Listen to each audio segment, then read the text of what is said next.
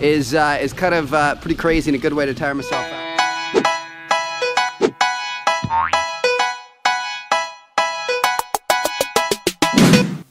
Let us make it talk. 안녕하세요. 게스맨입니다.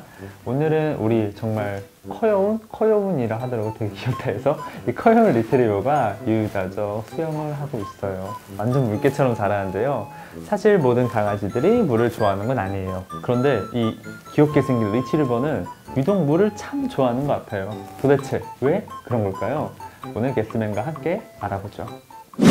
우리나라에서 많이 키우는 리트리버 종류는 라브라도 리트리버와 골드 리트리버 두 마리입니다. 두 종류예요.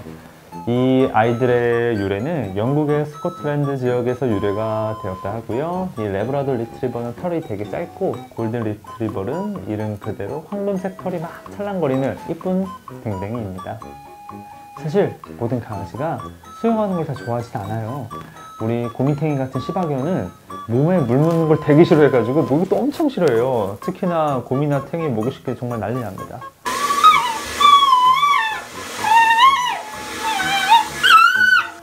그런데 이 리트리버들은 유난히 물을 좋아해요. 이 리트리버가 목욕하는 영상을 좀 보면 이게 목욕을 하려고 막 이렇게 물을 뿌려도 피하지도 않고 비누칠을 하니까 아예 즐기고 있어요. 완전 이거 세신 맞는 사람 같아요. 완전 사랑해요. 이렇게 리트리버가 물을 무서워하지도 싫어하지도 않는 이유는 그 이름에서 찾을 수 있다 합니다. 리트리버란 이름은 회수하는 자라는 뜻이에요. 응? 이게 무- 무슨 뜻일까요?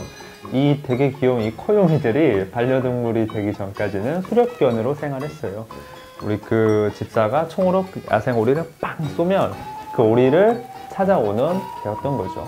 만약 오리가 사냥 중에 물에 떨어지면 그 물로 풍덩 리트리버가 뛰어 들어가서 오리를 물어와서 주인 앞에 내려놓았대요. 이렇게 과거의 본성이 살아 있어서 그런지 물을 되게 좋아하는 것 같아요. 그리고 오리를 이 물어오는 본성은 수영뿐만 아니라 공놀이 할 때도 발동이 된다고 하는데요. 이 동물농장에 나온 효리라는 이 레브라도 리트리버는 공 물어오는 놀이를 너무 좋아해서 공놀이 하자고 하루 종일 이렇게 집사를 괴롭힌다고 해요.